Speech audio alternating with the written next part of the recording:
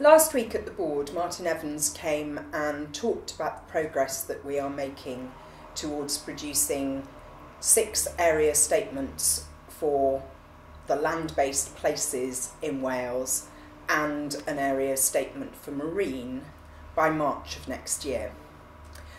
This is a commitment that is in the Environment Act 2016 and alongside SoNaRR is it's one of two main outputs for NRW. Area statements I have found fascinating ever since I started and asked that really obvious question of so what are they? What are they going to look like? And of course, now I know much more about them.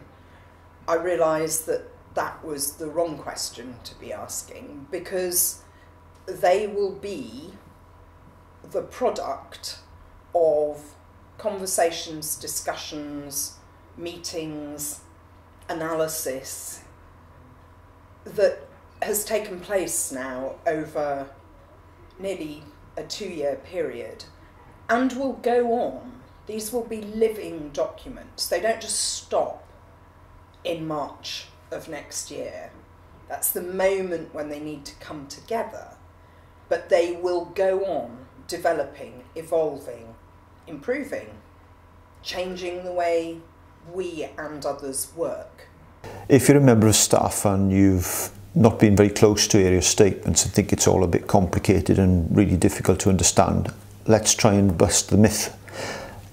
Put at its simplest sense, for me, area statements, and I'm very much like this, I don't like things to be too complicated.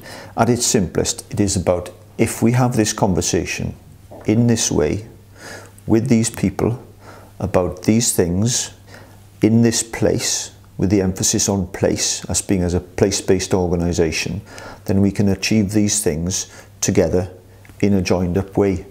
Now that might sound too simple but it, it, at its essence, that's what area statements, the process is about. And if we can follow that process through, I think we can achieve some great things. An A to Z, start to finish of area statements. Firstly, it's around preparations before we start talking to people and listening. When we do that listening and the engagement with stakeholders, old and new, there will be issues that come out from it, uh, ideas and opportunities. Those will lead to priorities. Not everything is, can be a priority, so we have to get some agreement about what's important. thereafter. What interventions are needed to address those very important things, the top priorities, and there are, whose role is it to undertake those interventions or actions? And hopefully, if we can get those done uh, by working jointly, we can get the outcomes, those multiple outcomes and benefits that we hope that um, uh, the Environment Act and Wellbeing Act are intended to deliver. Just something about where area statements fit in, in, in the world of uh, natural resource planning in Wales the 2016 Environment Act, when it mentioned area statements, there was a statutory deliberate intent there that area statements would be developed not as plans or programs in themselves, but there to frame the plans and programs of others and that they would, they would inform and drive the priorities and actions of others as well as ourselves.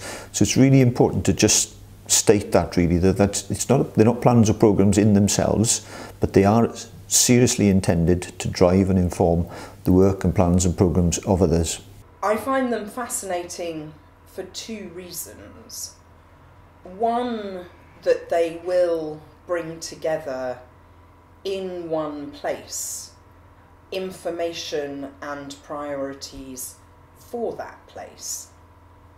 But I also think they are fascinating because of the way they are being produced and used and the way in which we as an organisation have had to work and behave differently in order to get the engagement and buy in from partners and stakeholders because these aren't something that NRW can produce on its own.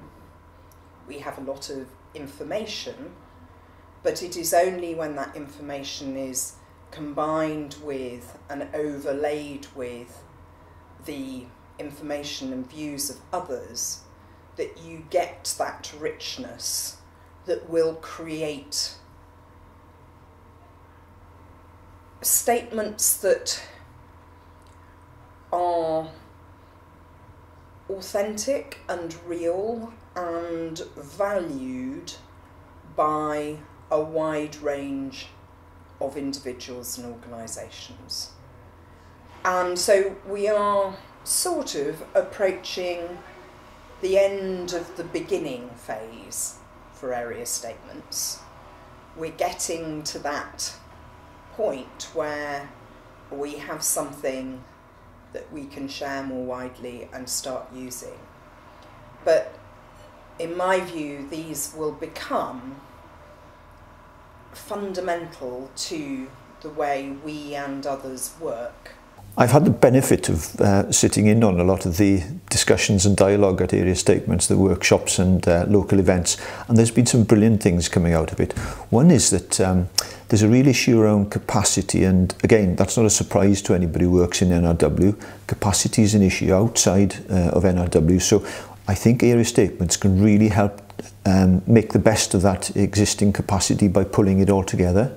I think another point that's come through is that there's really high energy and some great um, ideas and opportunities out there, but they're they tend to be uncoordinated and again I'd hope that area statements can act as a binding agent to bring all these things together so that there's an agreement about what's important. We've also been, and this is intriguing, um, talking to some um, organisations that we regulate and they say they're fine about being regulated, but they also want to work with us in partnership proactively, not just be regulated.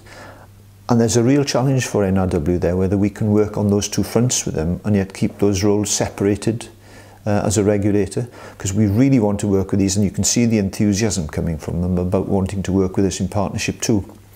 Um, there's this is really satisfying. Another point that's come through is that there's some real strong endorsement that our, the evidence base and the emerging themes that we've indicated are the right kind of things at place have been strongly endorsed by everybody around those tables. One of the things that, that has been really interesting um, as we've gone through this process has been the fact that we've had the Wales Audit Office alongside us over the last few months looking at how we're working, how we're working with others to produce area statements.